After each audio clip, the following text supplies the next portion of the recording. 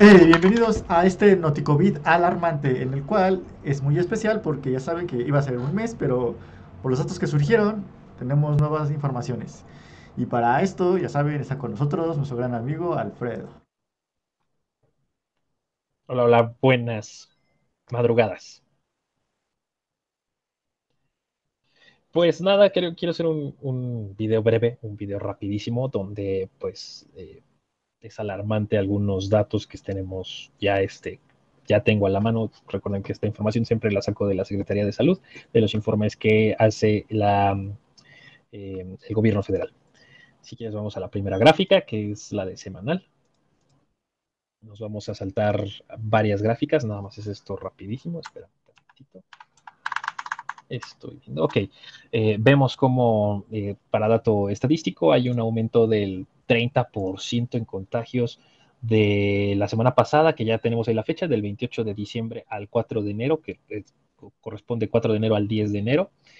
Y pues es bastante, o sea, son un 30%, estamos hablando de casi 20 mil casos, por muy poquito no fueron los 20 mil. Sí es preocupante porque en la siguiente gráfica que tenemos, eh, que son los confirmados, vamos a ver que, perdón, listo, confirmados, confirmados, confirmados.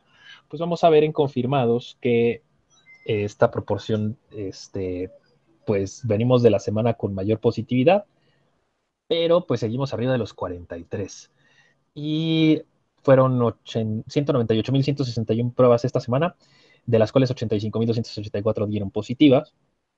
Y pues creo que es un dato alarmante. Ya vamos a llegar a los 200.000, este, a las 200.000 200.000 pruebas, perdón. Y creo, creo que vamos a estar esta semana, pues sí, vamos a estar entre los 80 y los 90.000 este, casos confirmados, nuevos reportados. Y tengo mi pronóstico para esta semana que van a ser, eh, bueno, ya del mes, cerrando el mes, van a ser 325 mil eh, casos confirmados, 25 mil más, 25 mil menos. Esperemos que esta, esta semana que acaba de terminar y esta que estamos cursando sean las de mayor eh, reporte y de ahí venga un descenso. Mientras la gente siga saliendo, pues no va, no va a cambiar la tendencia. vámonos al RP. al RP que nos está diciendo que ahorita la positividad se está encontrando en un, nivel alarmante, que es arriba del 46%, que ya habíamos dicho que arriba del 45%, pues sí era, eh, sí era preocupante, bastante, demasiado, porque vean que julio y agosto tienen esta característica. Entonces esperemos que, que no siga así la tendencia en estos 11 eh, días, porque si sí nos está rebasando la enfermedad, la, epidemia, el virus, y lo peor son las dos, este, las dos imágenes que te mandé, donde podemos ver claramente que la ocupación hospitalaria y en el Valle de México están subiendo bastante las, las hospitalizaciones. Entonces no nos estamos, y también decir que en México, en la Ciudad de México estamos al 88% de capacidad. Entonces estamos a nada de, de llegar a,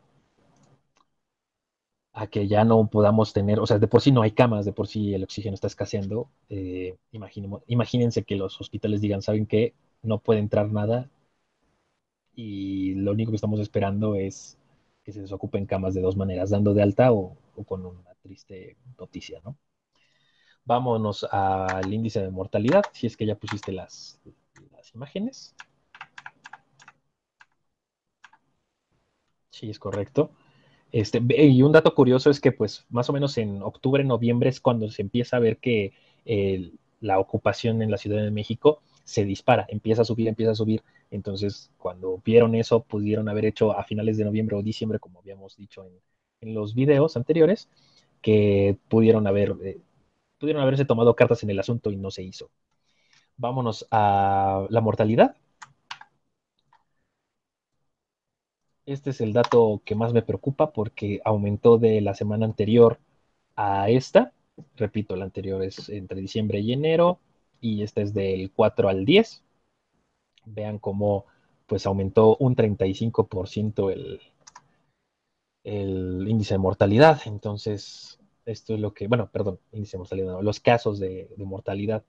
Eh, de 4.787 subió a 6.493. Es la primera vez que aumenta así de fuerte. Y pues esto fue por el descuido de, haber salido eh, a reuniones familiares el 24 y el 25. Y si quieres pasamos al índice de mortalidad para acabar con este, con este video. Lo preocupante, vean, de hecho, si se dan cuenta, cuando va descendiendo el índice de mortalidad, vean que habíamos dicho en el anterior video, que a finales de noviembre, eh, principios de diciembre, viene una desaceleración fuerte porque fue cuando se aumentaron las pruebas. Y ahorita dense cuenta que cuando rebasamos esta línea gris intermedia, que es el 9% de índice de mortalidad, se, ve una desaceleración. Entonces esto quiere decir que los, pues obviamente la, la, gente, la gente falleció más comparado con los casos que se estuvieron dando. Y creo que si sigue esta tendencia, pues veremos que se desacelera este, esta línea. Lo ideal sería que no subiera. Entonces vamos a ver que, se va a estancar un, este mes. Vamos a ver cómo se comporta en febrero y eso, eso sería todo.